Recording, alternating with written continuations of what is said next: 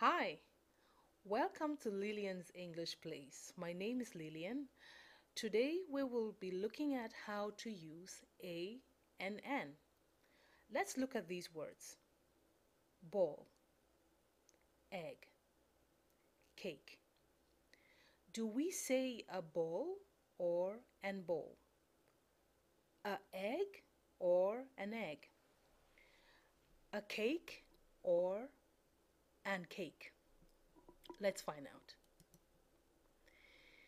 What you have to know when you want to use A and An is the English alphabet.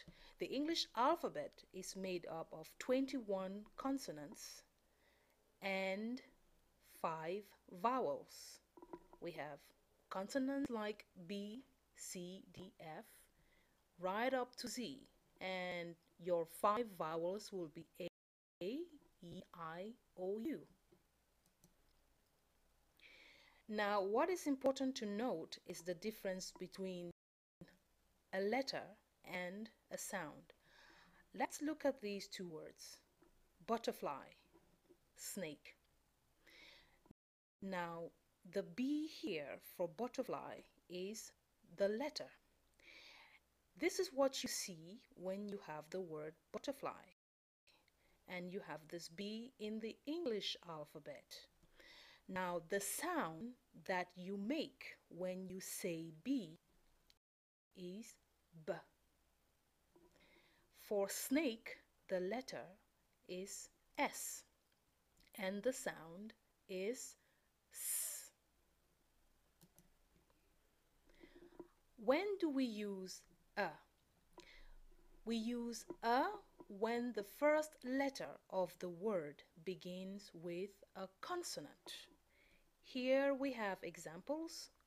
Baby begins with a consonant B, so we say a baby.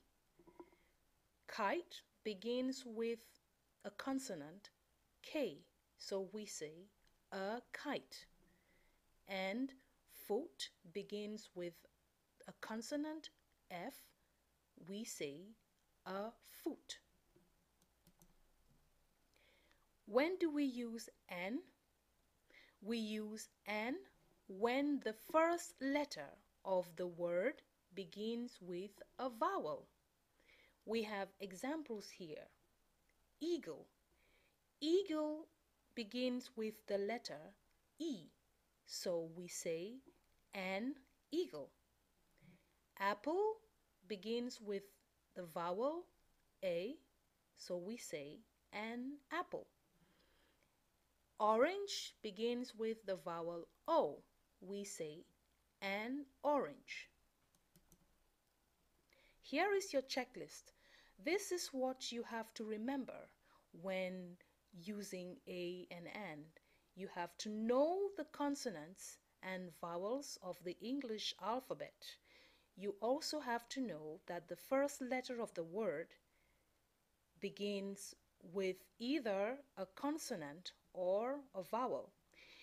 If the, the word begins with a consonant, you will use a. If the word begins with a vowel, you will use an. Thank you so much for watching. That's all for today. For more videos and practice, go to liliansenglishplace.com slash quiz central. Bye.